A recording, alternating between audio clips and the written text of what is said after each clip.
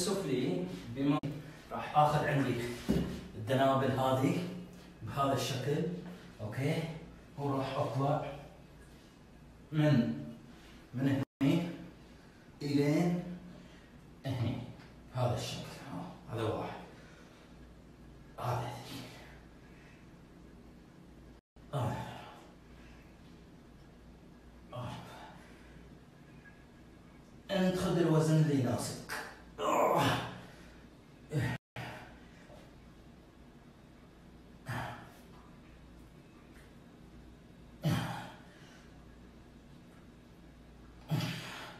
في بعضكم يقول يمكن ما يشتغل وياي أنا هذا الصدر الصدر السفلي بهذا الشكل. حلو لك التمرين الثاني. تمارين كثير تقدر تلعب. هذا الشكل؟ وتروح هذا واحد.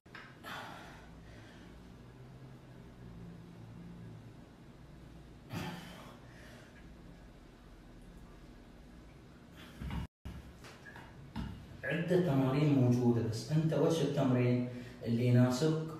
وتقدر تلعب وتحس إن العضلة قاعدة تمشي وياك بشكل صحيح. أوكي؟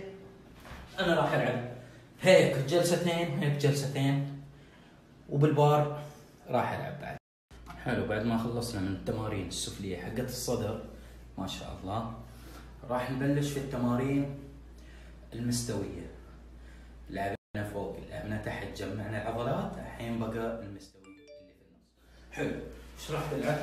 راح العب بالبار مرة جدا سهل. هذا البار هذا البار عندي. طبعا طريقة الغلط إني أنا أخذه من هناك.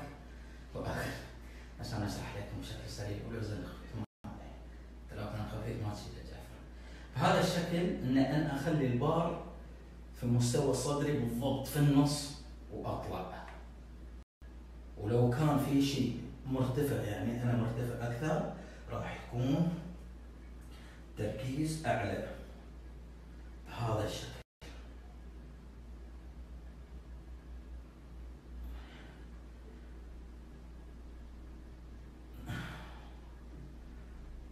حلو راح نبلش الحين بعد بالدنابل.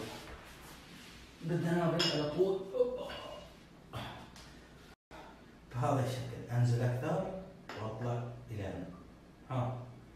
عشان يتجمع صدري المستوى